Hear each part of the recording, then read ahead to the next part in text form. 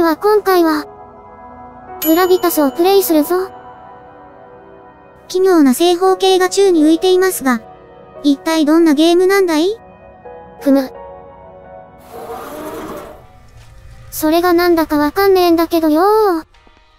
宇宙船に乗ってたらな。おう。いつの間にか、見たこともない施設に着いたんじゃよ。確かに。よくわからん場所じゃのー。でも、タイトル画面にあった、正方形のオブジェクトがあるっつよ。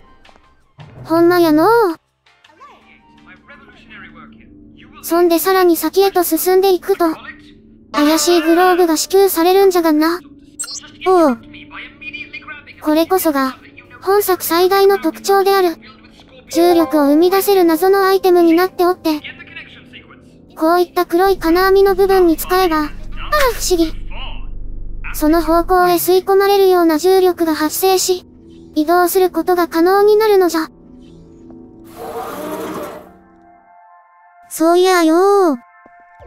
この重力って、青いブロックに対しても有効なんすねー。うん。じゃから、一瞬で黒焦げになっちまうような、レーザー地帯に遭遇したら、主人公が乗れるようにブロックを誘導しつつ、その上に乗っかって発射すれば OK じゃ。ブロックが焦げたりしないのはなぜじゃテフロン加工されたフライパンみたいなもんじゃね。知らんけど。なんだそれ。まあでも、一瞬見ただけやと。は、あ、こんなん解けるわけねえだろ。って思ってしまいがちやけども。ステージ構成をよく見て、別の視点から考えたりすれば、なんだ、こんな簡単だったのかよ。って思えたりもする作品じゃったのー。重力って部分だけを取り上げた作品でしたので、複雑な構成になってるかと思いきや、シンプルさがありましたねー。